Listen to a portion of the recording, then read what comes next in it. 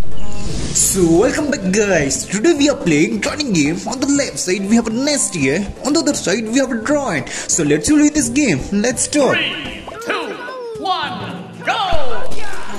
So first of all, we got Nastya. So Nastya really means Anastasia. She is a Russian YouTuber who is famous for his toys reviews. She was born on February 27, 2014 in Russia and was diagnosed with cerebral palsy at the birth. The Nastya started her YouTube channel in 2016 and her video quickly became popular especially among young children. Her videos typically features her playing with different toys and she often speak in high pitched voice and make funny face. Nastya is one of the most popular YouTubers in the world with over 100 million plus subscribers and over 80 billion plus views. She was won several awards for her YouTube videos including the Streamy Award for the Breakout Creators in 2019 and the Kids' Choice Award for the favorite social media star in 2020. In addition to her YouTube channels, the Nastya also lines of merchandise including clothing, books, and accessories, and many more. She also involved in several charities organizations and she has raised money for children with disabilities.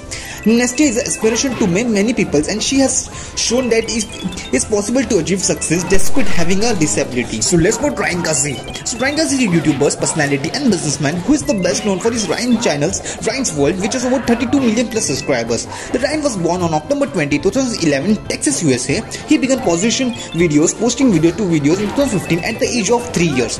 The Ryan videos typically involves by unboxing and reviews toys, playing games and doing challenges. He is also known for his education videos which teaches children about science, maths and other subjects. The Ryan World is one of the most popular channels on YouTube and Ryan has been dubbed the most powerful kids in the world. In, in addition to his YouTube channels, Ryan has also been lines of merchandise including toys, appearance and books. He also has a Nickelodeon shows called Ryan's Mystery Update. Played it. The Ryan has earned significant amounts of money from his YouTube channels merchandise sale in 2019. He was ranked as the highest paid YouTuber by the Forbes